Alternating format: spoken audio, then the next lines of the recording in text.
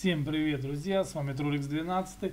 Записываю я для тех, кто просил, чтобы я показывал, как идет мое продвижение в объединении Solaris. Сейчас я имею статус приятель, но мне нужно стать товарищем. Для того, чтобы стать товарищем, у меня не хватает, как вы видите, только репутации. У меня 26 тысяч, а надо 99 до этих облигаций у меня хватает всех, что надо. Что мне не позволяет продвигаться быстрее, так это только лимит. Лимит 23 тысячи в сутки всего. Это получается дня на 4, а то и 5 я точно здесь завис. Каким образом я набираю эти очки репутации?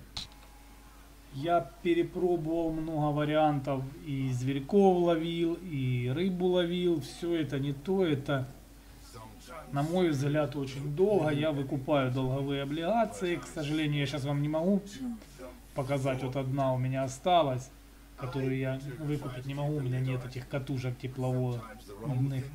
Только что я, только что я купил штук четырех, наверное, этих чувачков.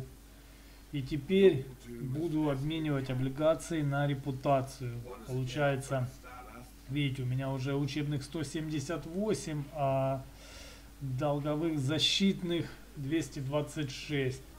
Вот, в принципе, 23 тысячи я могу всего-навсего на 23 тысячи продать. Давайте как отдадим 70 вот этих вот. Получится у нас что? 7 тысяч. И остается 16 тысяч. Это получается сколько?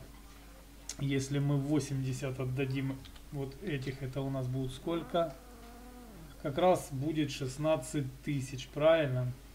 Дневной лимит 16. Использовать.